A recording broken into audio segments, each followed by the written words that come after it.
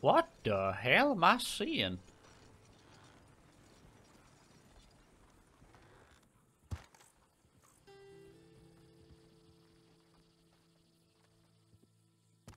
What the hell happened to you?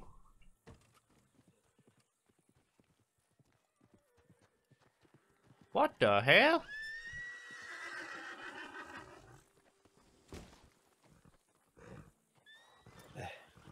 I think there's some explaining you need to do here.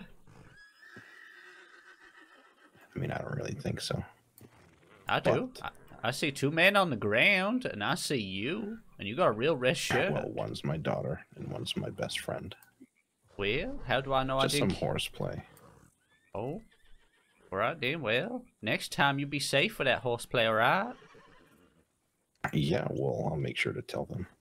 Yeah. For all I know, you you could have killed your their daughter and your your their best friend, and you might be Oh, lying to me, me. if I killed them, I wouldn't bring them here. Oh, all right then. Where would you take them? I would just leave them there. Leave them where they Oh. lie. Well, that ain't very nice. You ain't gonna bury them. I mean, if I Miss! kill someone, I'm not going to bury them. Miss, this man killed two people. Help me. Miss!